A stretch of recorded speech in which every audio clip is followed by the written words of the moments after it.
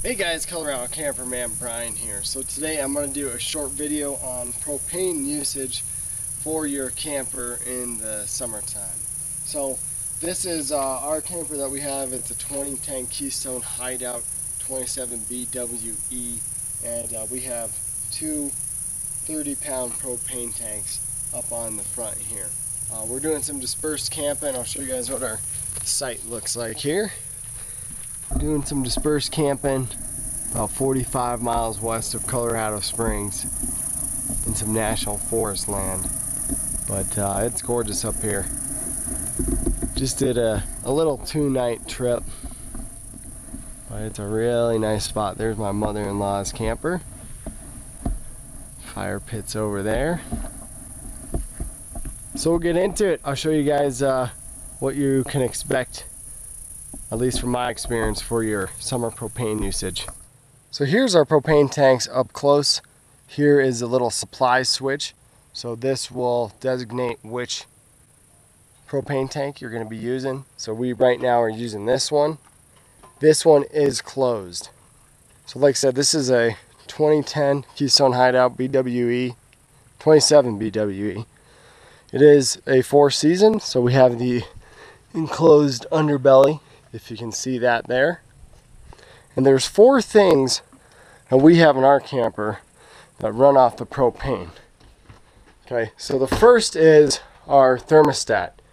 So we can't use the air conditioner off this, but we can use the furnace.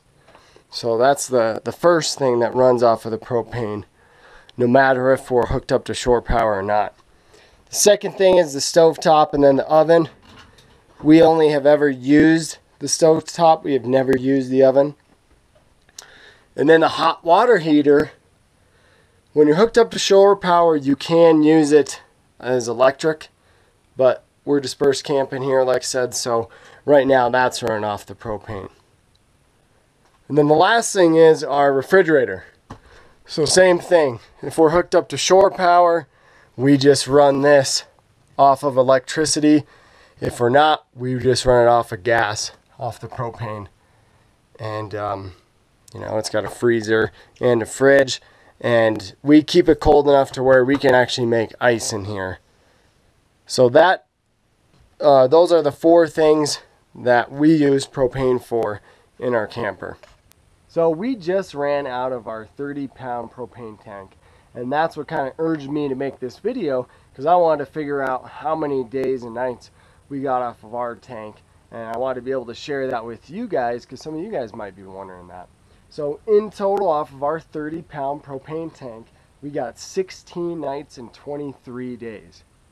Of that time, 60% of that has been doing dispersed camping like we're doing right now. So that's where we're using the furnace if it's cold enough, the stove, the refrigerator, and the hot water heater all off of the propane.